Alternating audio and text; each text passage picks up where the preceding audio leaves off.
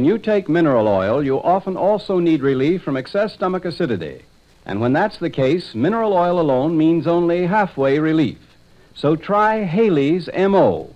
It combines mineral oil with acid alkalizing milk of magnesia, means thorough relief. Caution, use only as directed. Get Haley's, capital M dash capital O. Haley's MO.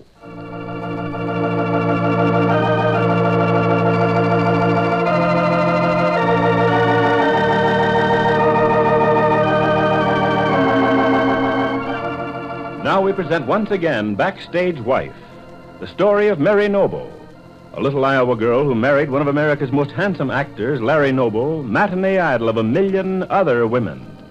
The story of what it means to be the wife of a famous star.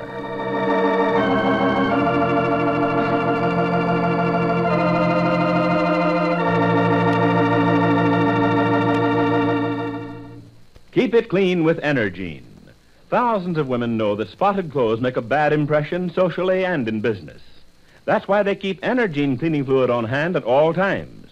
For Energine makes dirty grease spots go right before your eyes.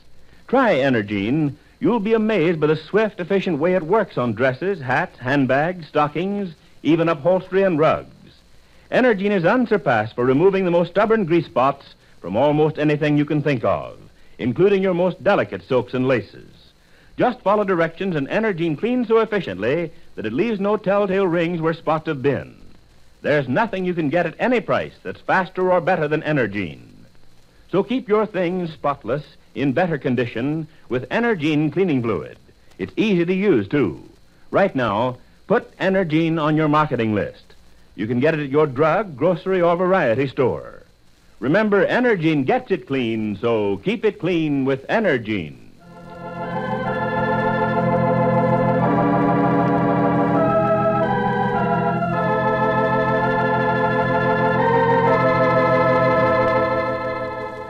Backstage Wife, the story of Mary Noble and what it means to be the wife of a famous star.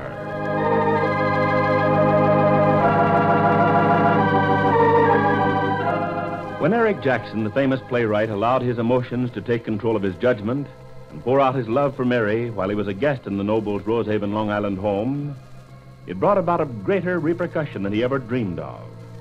For it so happened that Larry Noble came into the room and overheard his words. And now Larry is unable or unwilling to believe that Mary was completely innocent of any complicity in the scene. The result has been that Mary moved to New York to the hot little hotel room of her friend Maud Marlowe while she looks for a job.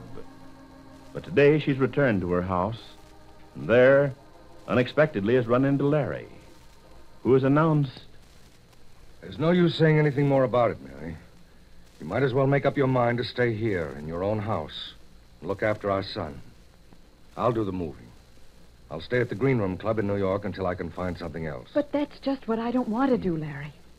I tell you, it's impossible for me to stay on in this house when you and I are so far apart in our hearts. And I tell you that I won't stand for you taking Larry Jr. to New York. This is where he belongs. And if you intend seeing him, this is where it'll be. You're very high handed, Larry. I have a right to be. It's perfectly true that I can't force you to remain with me or even to go on caring anything for me. But I can see to it that you don't take my son to live with you in New York, where you can be close to Eric Jackson. You're determined to see everything in the worst possible light, aren't you, Larry? I don't see that it matters anymore. Perhaps it doesn't to you. But for your information, I haven't seen Eric since I left here. I haven't heard from him, nor do I expect to. I find that hard to believe. That's because you're so anxious to believe the worst.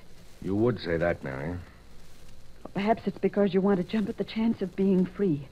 Free to run around all over New York with the dashing Regina Rawlings. That's ridiculous. There's not a word of truth in your insinuation, and I think you must know. Why should I know it? How can I know anything about you when you behave this way? When you're set against me and refuse to believe anything except your own distorted picture of the fact. Distorted? Are you trying to make me believe that I can't hear when a man tells my wife he adores her? Do you think I don't see clearly when I find this man with his arms around you? All right, Larry. You won't be convinced. There's nothing more I can say. That's perfectly true. And so I'm leaving. I'll take this suitcase, and when I have a chance, I'll either send for the rest of my things or I'll come for them. Whatever you please. You can be quite sure that I'll phone first to see if it's convenient. That's a despicable thing to say. Is it? Then I'm sorry. I guess this is goodbye, Mary. Yes, I'm anxious to do everything I can to make you comfortable.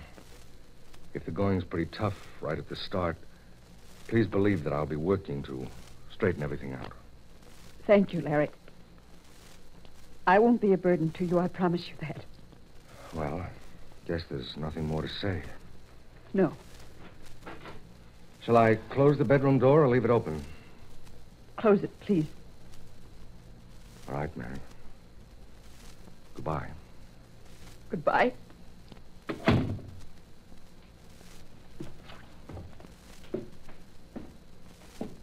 That you, Mary? No, it's me. Oh, Larry. Well, come on in the living room and sit down. Afraid I can't, Maud. I've got to get right down to the station. Now, Larry. Oh. Oh, you're going away after all. Of course. Only came to pack some things. I told you that. But you and Mary have been upstairs talking for such a nice long time. I, I thought, of course, you'd come to realize how unnecessary all this separation is. I'm afraid we don't see it in such a casual light, Maud. But we both agree on one thing. You've been a grand friend. We appreciate all you've done for us. Staying here and looking after Larry Jr. Don't talk nonsense. What are you proposing to do now? I'm going to move to the Green Room Club.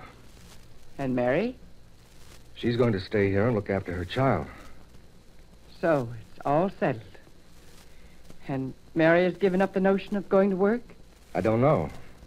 But she'll stay here in her own home if she expects to continue to see our son. Oh, Larry, you didn't talk that way to Mary, did you? Of course I did. I told her just how things stand. Oh, you fool, you bungling idiot. I'm sorry you think of me that way, but I suppose it's to be expected. You and your idiotic false pride. You throw away the happiness of a lifetime just to save your miserable ego. I don't think I can stay for your lecture, Maud. My train won't wait. No. No, you'd better go along. I can see that you've made it impossible for anyone to help either of you. Naturally, you believe it's all my fault. I suppose you'd expect me to accept Eric Jackson's attentions to my wife with good grace. I should clear my throat as a warning when I enter the room. I should always make my plans known. Oh, Larry, you're talking like a silly child. It's all very well for you to preach, Maud. It isn't your home that's crumbling. I almost feel that it is. Well, Larry, I, I'm sorry. More sorry than I can say. Perhaps when you've both had a little time to think this through, you'll you'll realize what a mistake you're making. I don't see how it can be helped. Anyhow, good luck to you, Maud. I, I'd appreciate anything you can do to help Mary. You you still love her, don't you, Larry? Love? what good does it do to love anyone? It's a fool's game. Only let yourself in for trouble sooner or later. Well, I've learned my lesson. From now on, it's going to be different. You can be sure of that.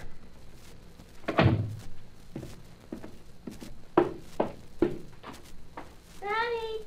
Daddy! Hello, Larry Jr. Daddy, wait! Wait for me! I can't wait now, son. I've got to hurry. Where you going, Daddy? To New York? Oh, but you got that big old suitcase. I know. Why? Because I'm going to have to stay for a while. Well, why, Daddy? Why does everybody have to go away? When's Mommy coming home? I don't want everybody to go away. Your mummy's in the house right now. She is? When did she come back, Daddy? Why didn't she say she was coming back? Guess maybe she wanted to surprise you. Well, why are you going away just when Mommy's coming home? I'm afraid I can't help it, Larry Jr. But uh, aren't we ever going to be all together again? We didn't even have the picnic you promised, and I don't like it when you go away. To tell you the truth, son, I don't like it myself. I don't like it at all. Then why'd you go? It's something I've got to do. When are you coming back, Daddy? I don't quite know. Tonight? No, not as soon as that. Tomorrow? Tomorrow's Saturday, Daddy, and, and we could have a picnic on the beach. And you could see how my dog can swim. I'd like that. I'd like that very much, but I just can't make it. I don't see why everybody goes away all the time. I don't see why we can't all be home together like always. Annie Maud keeps saying that I've got to wait. I don't want to wait, Daddy. Well, we can't always do what we want to do, Larry Jr. Remember that. And try to remember to be a very good boy and do everything Mommy tells you. Will you try? Yes, Daddy. If she doesn't go away and leave me again, will she? You'd better ask her. She's been away for days and days and days, and, and she didn't even call me up on the telephone. I don't want her to go away anymore. You tell her that, Larry Jr. And maybe she won't have to leave you ever again. I'll tell her, Daddy, and I'll tell her that you're going to come home real soon. No. No, better not tell her that. Why? Because I'm afraid it isn't quite true. Daddy, are you going so very far away? Not very far. Only to New York. Oh, you can come home from New York? Oh, Mommy takes me to New York all the time to get my clothes and get my teeth fixed and everything. It isn't far, Daddy. Well, it's, it's farther than you think. Goodbye, Larry Jr. Be a good boy and do what Mommy says. I'll come and see you very soon. Can I walk part ways with you, Daddy? No, you'd better not. I, I don't want you out near the road alone. Besides, your little dog might get run over. No, he won't. Duke stayed right by my side. He's an awful good old Daddy. I know he is. And he belongs to an awfully fine little boy. Goodbye, son. Want to give Daddy a big hug? Yes. Mm. Oh, Daddy, please don't go away anymore. Please come back soon. Promise. I'll try. I'll do the best I can.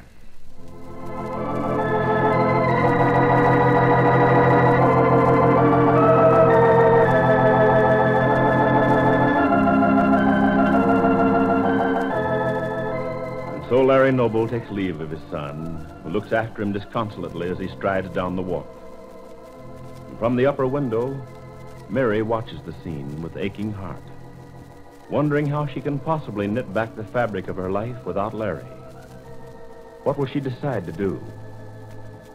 Be sure to be listening Monday to Backstage Wife, the story of Mary Noble and her husband Larry Noble, famous Broadway star.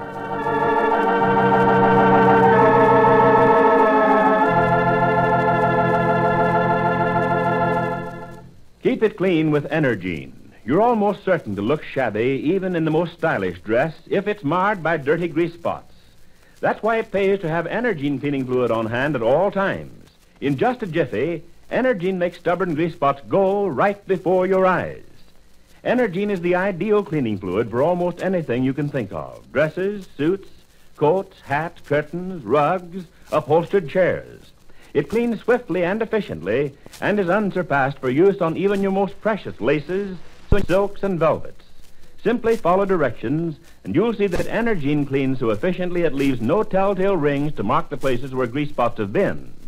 You can be sure that no matter how much you pay, you can get nothing, absolutely nothing, that'll remove even the most deep down grease spots more quickly or more dependably than Energine. It's easy to use, too. Right now, put Energine on your marketing list. You can get it at your drug, grocery, or variety store. Remember, Energine gets it clean, so keep it clean with Energine.